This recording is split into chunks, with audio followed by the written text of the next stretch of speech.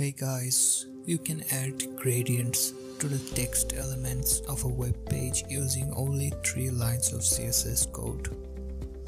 First, set the background to linear gradient, choose the direction and add all the colors.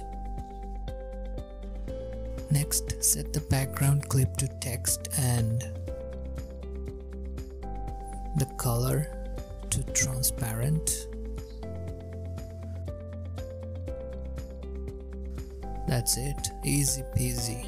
Thanks for watching, subscribe for more tutorials like this. Thank you.